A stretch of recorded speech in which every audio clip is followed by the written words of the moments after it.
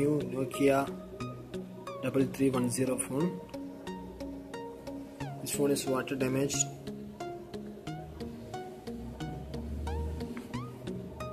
The display was blank and the light was missing.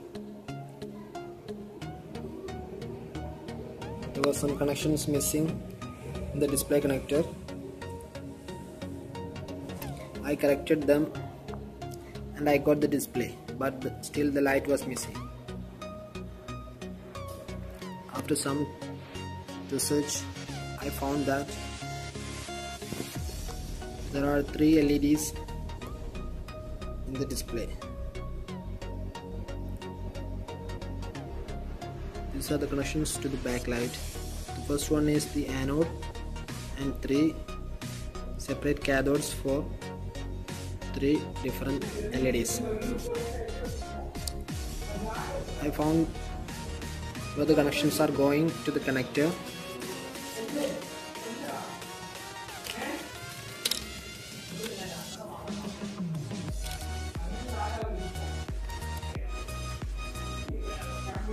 The display at the bottom side from right to left these three pins are the cathodes or the negatives of the LCD backlight of the three LEDs K1, K2, K3 and from the top from at the top from right to left the fifth pin is the anode connection or the positive voltage connection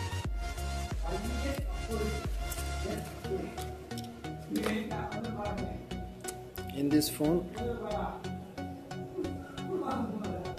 I found that the cathode pins which are here are okay. I got connections there. I got continuity there.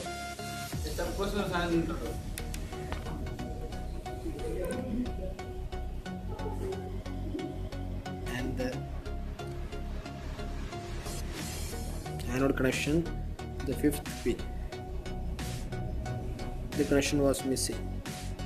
To, this fifth pin. After some research I could find that this missing connection or the anode connection to the LCD backlight or the positive voltage to the anode to the backlight LEDs is coming from this from this resistor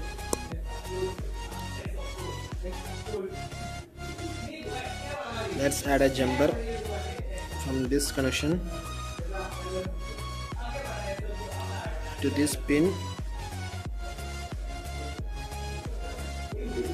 For simplicity or for easiness I'm making from here to the to directly to the anode pin of the LCD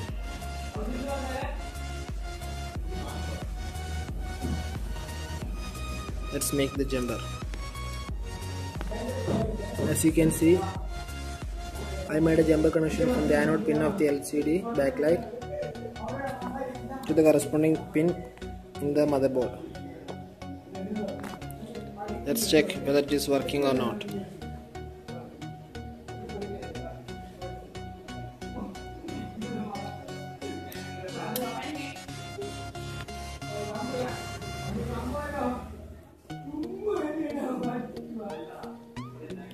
I will reduce the size of the jumper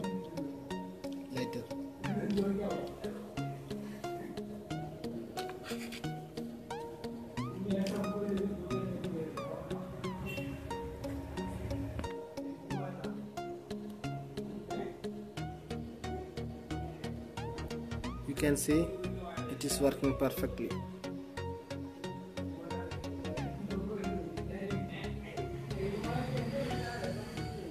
okay guys thanks for watching this video if you like this video please subscribe my channel